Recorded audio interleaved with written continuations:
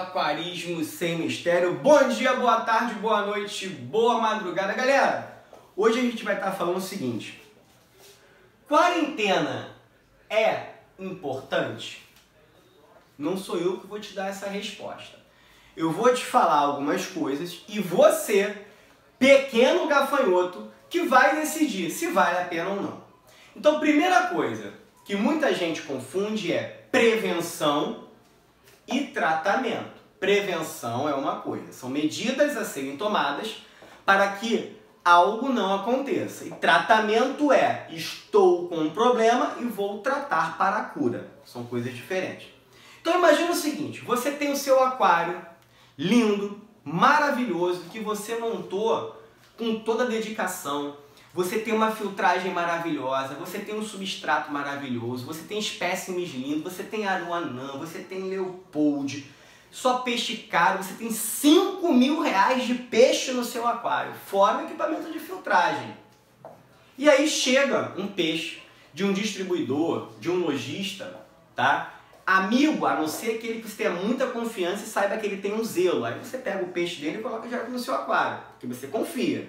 Mas fora isso, vou te dar um exemplo. Você comprou um peixe, uma raia. Aí você chega com essa raia no seu aquário, faz a aclimatação que deve ser feita, já tem um vídeo falando sobre isso, introduz o peixe no seu aquário. E uma semana depois, os seus peixes começam a nadar estranho, perda de apetite, vários sintomas, e você introduziu um patógeno no seu aquário que tinha 5 mil de fauna, porque você não teve o cuidado de se prevenir antes. E aí você perde tudo e tem que começar do zero ou tem que gastar um dinheiro absurdo para evitar a perda. E aí que vem a importância. Galera, é o que a gente chama de triagem. Aqui é o seu aquário. Beleza? Isso é o seu aquário. Se é o seu aquário, antes do seu aquário, você tem que ter uma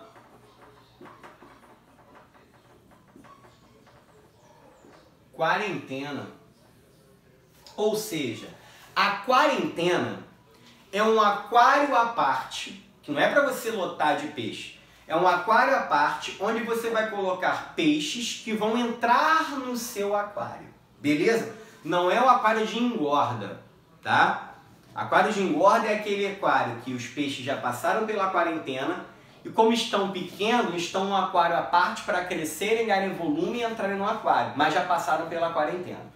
Então, no aquário quarentena, essa quarentena dura de 30 a 40 dias.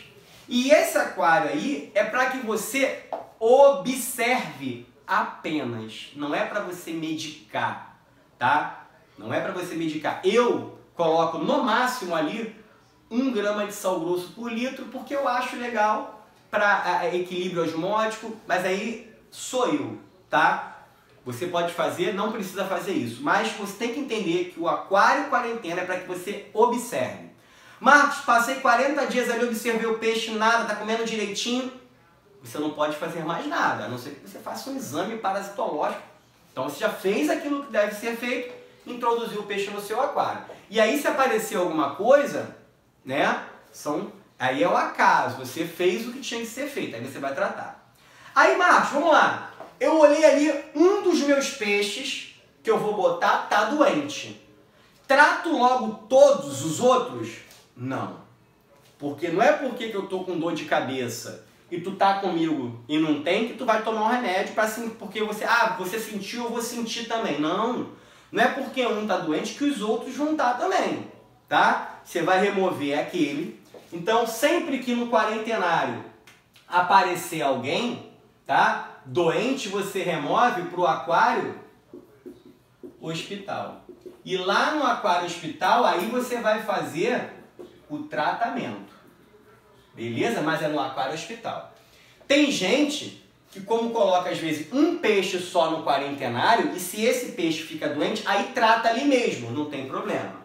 Tem gente que lá na loja comprou 10 auratos do mesmo lote, colocou os 10 auratos e só um apareceu doença, aí a galera vai e trata tudo.